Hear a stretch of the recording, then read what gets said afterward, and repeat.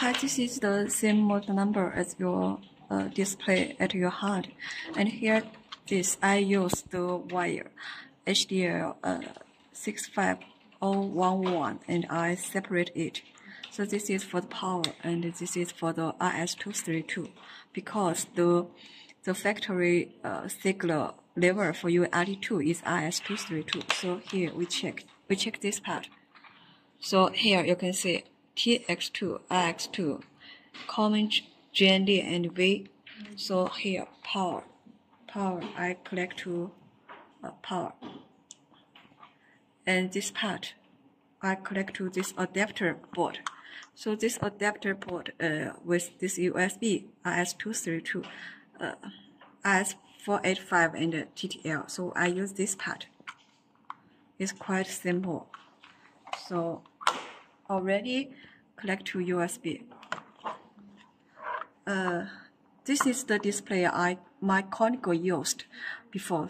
Uh, he downloaded the uh, the project with the vertical format, but set the parameters wrong. But uh, I, I just want to test the communication. So let's check it out.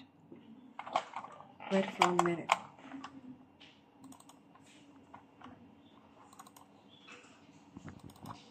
Here. Okay, I use this. Okay, clear data. Uh, here, uh, if you have the uh, use the adapter here, share uh, share how to how to say show the uh, adapter name. Each adapter shall uh, install the driver. Okay, also the COM number USB serial port like this. Uh, I don't know what's it in your site. Maybe you, you don't install the driver.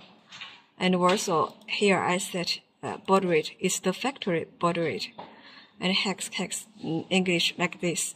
And this is now and like this.